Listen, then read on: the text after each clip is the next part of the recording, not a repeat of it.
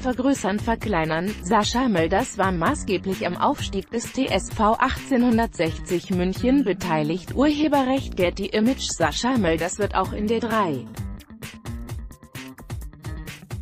Liga für den TSV 1860 München auf Torejagd gehen. Der Aufsteiger und der Torjäger einigten sich auf eine Vertragsverlängerung.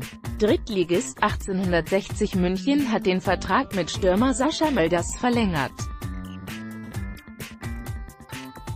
Über genauere Details vereinbarten beide Seiten Stillschweigen. Wir sind froh, dass wir mit Sascha Mölders einen absoluten Leistungsträger und Publikumsliebling an den Verein binden konnten, erklärte Geschäftsführer Michael Scharold. Sascha hat großen Anteil am sofortigen Aufstieg in die dritte Liga. Mölders erzielte in der Regionalliga 19 Tore für die Löwen und gab zudem 14 Vorlagen. in der Aufstiegsrelegation zur 3. Liga setzte sich 1860 gegen den ersten FC Saarbrücken 3 zu 2, 2 zu 2 durch. Mölders erzielte in den beiden Duellen drei Treffer.